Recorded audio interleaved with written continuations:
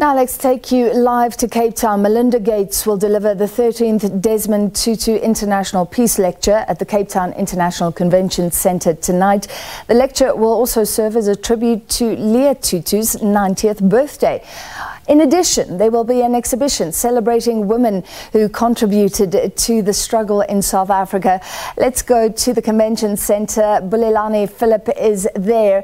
And Bulelani, this is a wonderful uh, female uh, panel or, or I guess lineup tonight.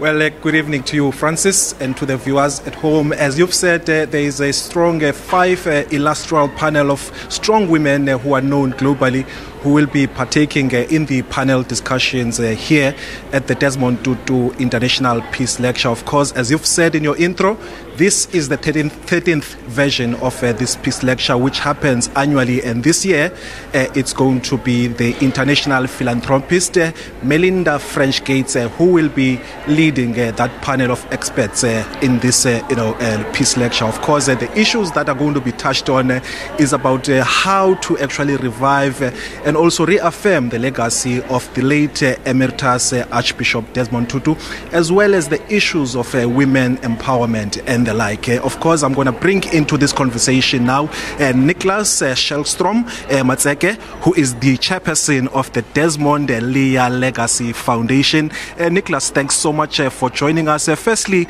how did you arrive at the decision of selecting Melinda French Gates as this year's main speaker? So first of all, it's a, it's a process, uh, somewhat democratic. There are many voices. The entire board is involved. Uh, the leadership of the foundation is involved, and we always listen in uh, a little bit to the Tutu House. Um, it used to be a tradition that father would help us and guide us, and obviously Auntie Leah uh, is, is doing the same. But no, I, if you if you look at uh, what we arrived at uh, we have a strong tradition of women leaders speaking on this platform of the annual peace lecture of the Tutus. Uh, last year, for instance, was the Deputy Secretary General uh, Amina Mohammed.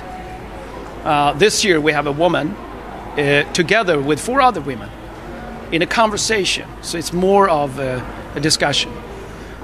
They, you can see that the leadership of Melinda French Gates has done more for Africa and people in Africa than many presidents have done. So I think it speaks for itself. And this year's theme, what is it and what's her brief uh, to talk about at this uh, uh, event? So there is always a freedom uh, for the speakers to elaborate on it. Obviously, it's about peace, it's about stability, it is about justice and fairness and equality. But you can also uh, picture it in inside of the the holistic sustainability that we're all looking for. Um, so this year it would be women voices, but they will use their own experience and their knowledge and their wisdom and beam it through the lens of the late Archbishop Desmond Tutus. We'll see. Right, uh, the late Emeritus Archbishop Desmond Tutu was a man who advocated for peace.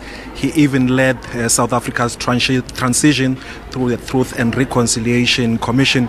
Of course, as the uh, foundation, what would you think his thinking where he is beyond uh, this world when he looks at the conflicts that are happening uh, in the Gaza as well as between uh, Ukraine and Russia?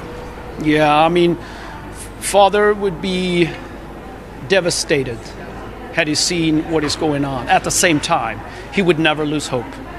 He called himself a prisoner of hope, and which means that you never neglect the actual catastrophes. You you you nurture from them, you try to understand them, and then you commit yourself to drive in the right direction, to assemble people that can force they have good forces and they can provide things for a better and more sustainable future.